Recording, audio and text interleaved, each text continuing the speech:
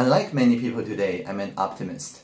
This strange condition began when I was 15 years old. That was 1996. I discovered that the future of human knowledge was on the World Web and my textbooks were all out of date. So I told my teachers I want to quit school and start my education on the World Web. Surprisingly, the teachers all agreed with it. A year later, I founded my first startup, working on web technologies, and I get to join this fabulous internet society that runs with this crazy idea, an open multi-stakeholder political system that runs the internet still today.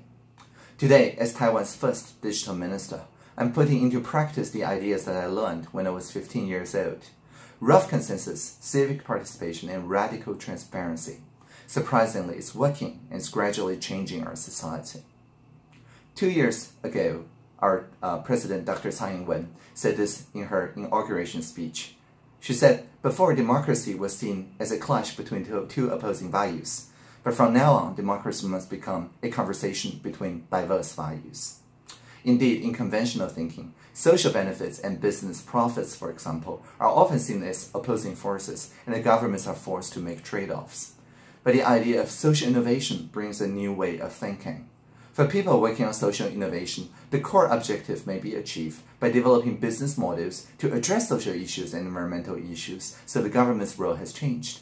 Instead of being the arbiter between two opposing ideas, we're now asking a different set of questions helped by digital technology. We ask, what are our common values given our different positions? And we ask, are there any solutions that works for everyone given our common values?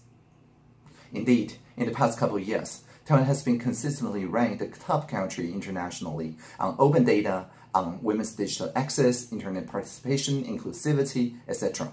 And all this was because we adopted open data and crowdsourcing as our national direction in 2014. It was catalyzed and epitomized by an Occupy movement in March 2014. That was a live demo of mass participation. We occupied the parliament for 22 days. At the time, the MPs at Taiwan were refusing to deliberate a trade service agreement with Beijing, so the occupiers went into the parliament and stayed there. For 22 days, we demonstrated non-violently how to deliberate a trade service agreement with the whole society. There was over 20 different NGOs participating, the Greens, the Labours, Independents, and everybody. We supported the whole deliberation with a radically transparent broadcasting, live streaming, logistics system, which was powered by the civic technology community called GovZero. GovZero is the civic tech community with a call to fork the government. We take the government websites, which all end in GOVTW, and make better open alternatives that ends in G0VTW. For example, the annual national budget website is hundreds of pages of PDF files and it's very hard to read. So the first community project from GovZero was Budget G0VTW, which shows the national budget in a very easy to access manner, and you can drill down to each and every budget details. And today, the system is adopted by more than seven city governments and also powers the national e-participation platform at JoinGovTW. So anyone can just look at this map find a part of the budget that they care about and type in any question they may have, and a career public servant will come forward and answer to that part of the budget. So why are there so many civic hackers in Taiwan? I think it is because our generation, I'm 37 now, we are the first generation that enjoyed the freedom of speech after three decades of martial law and dictatorship. Our first presidential election by popular vote in 1996 was also the year that the World Web got really popular. So internet and democracy are not two things, they're seen as one and the same in Taiwan. The movement caused a revolution, a, a, peaceful one. There was a radical transformation of social expectations. The new premier at the time was saying, okay, from now on, we're just going to invite the occupiers and the civic tech people who supported them into the government as mentors and advisors in the public service. And we get to work on issues like Uber, now, Uber is very interesting because it's a virus of the mind. It is a meme called sharing economy that says um, code dispatch cars better than laws, so we don't have to obey uh, laws, just code. So deliberation was the way that we chose to tackle this issue because we think listening deeply to the reflections and concerns of everyone was a vaccine of the mind that empowered the civil society, making us immune to ideologies. And a proper deliberation using the focused conversation method involved four stages. The first one is facts, where we collect evidences, first-hand experience, and objective data. The second one was feelings about the same facts. You may feel happy, I may feel angry, and it's all okay. And after people converge on a set of resonating feelings, we talk about ideas. The best idea is the one that addresses the most people's feelings. Then we translate them into decisions. So to collect people's feeling, we use this AI-powered conversation system called Polis. It is the open source system to ask people how they feel. Four groups of people soon emerged. They are taxi drivers, Uber drivers, Uber passengers, and other passengers. And the system shows each group how their shared sentiment are received by other groups by clicking yes and no, but there is no reply button. And the interesting thing is, it lowers people's antagonism because you can see all the people on different sides are actually your friends on Facebook and Twitter. Um, you just didn't talk about this over dinner, but they're still your friends. So instead of distracting, we attract consensus. After three weeks, we get a set of feelings that resonates with everybody. So it's now much easier for the government to meet with the stakeholders and check with them one by one and then sign this into a new law on ride sharing in 2016. So right after the ratification, I joined the cabinet as the digital minister to bring this culture to more policymaking issues in the central government. Maybe even more interesting than AI-powered conversation is the culture we're bringing. For example, I'm radically transparent. All the journalists or the lobbyists get to ask me questions, but I only answer publicly. And not just lobbyists and journalists. All the internal meetings I hold, after checking with all participants for 10 working days, I also publish everything to the internet. The effect is very surprising because the public service um, are career public servants. They usually get the blame if things go wrong and the minister get all the credit. But now with radical transparency, they get the credit because their name was on the accountability trail. And if things go wrong, well, it's experimental and it's all my fault. So under this system, they become very innovative and risk-taking.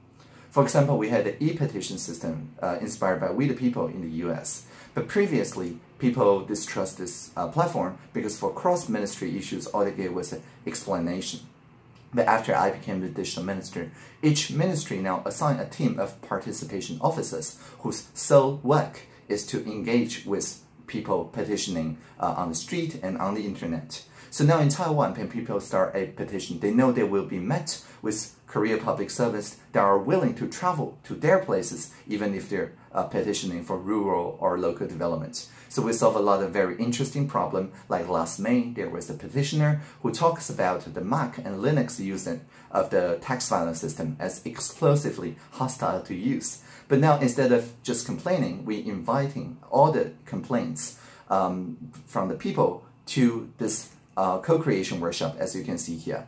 And all the all co-creators are actually people who complain the loudest, so they learn that they can contribute their expertise and not just complaints as co-creation efforts. And the new tax filing system won a approval rating of more than 96% this year.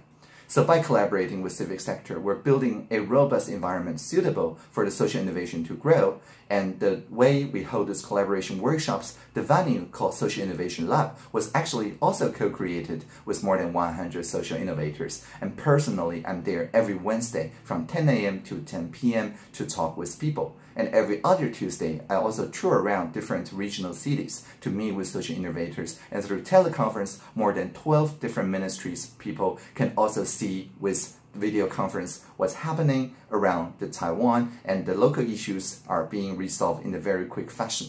For example, by combining the diversified talents working on air pollution management and measurement, we engage with thousands of contributors in a massive database, which is closer to the air quality of where they are in schools and balconies than the environmental protection agencies.